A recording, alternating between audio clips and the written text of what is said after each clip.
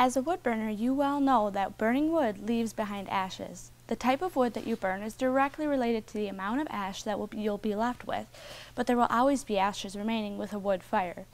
There has been a question I've heard multiple times. Is it a good idea to remove your ashes completely from the fireplace or wood stove every time you build a fire? I'm Melissa from Northline Express and I'm here going to answer this question in this video. It is not a good idea to remove the ash from your fireplace or wood stove completely every time you build a fire. You should actually maintain a 1 inch layer of ash on the floor of the firebox during the regular heating season. Leaving this layer of ash will make it easier to build and maintain a fire. The hot coals tend to nestle in the ash and glow, adding more heat to the fuel and reflecting the heat back into the fire. Another benefit of that small layer of ash is it protects the floor of the firebox as well. If you have a fireplace, you want to make sure that you're not letting your ashes become deep enough that they are coming in contact with your fireplace grate. Not only will that prohibit air airflow to your fire, it can also cause the grate to burn out prematurely from the exposure to excessive heat. If you have a wood stove, large amounts of ash left in the firebox will reduce the amount of wood that can be added to the firebox. In either case, if the ashes are cleaned out, you'll find that it's often more difficult to start a fire. And that's because you first have to heat up the brick as well as the whole inside of the firebox before your fire can really take off.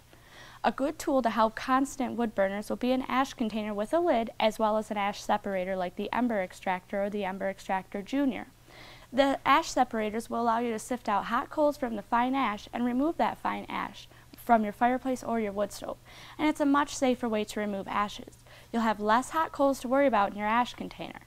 The ash container comes into play when you remove the ash from your fireplace or wood stove. I use mine to transport the ashes from my wood stove to my large metal container that I store them during the burning season. I recommend an ash container with a lid because it's much safer to keep the dust down as well. The lid can also be important if you set your ashes outside and a winter breeze comes along. If this happens, the coals could become active again. That breeze could also actually disperse the active coals onto nearby structures and start a fire. You should always treat removed ashes with a great deal of respect and don't leave them unattended for long. So when is it appropriate to remove all of the fireplace ashes from your wood stove or firebox? At the end of the burning season. You don't want to leave your fireplace or wood stove full of ashes because ash, ash could actually draw moisture and potentially rust metal components in your fireplace or wood stove. I hope you found this information helpful, but if you still have questions on ash removal in your fireplace or wood stove, give us a call at 866-667-8454. At Northline Express, home of the Buy and Try Satisfaction Guarantee, we're always happy to help.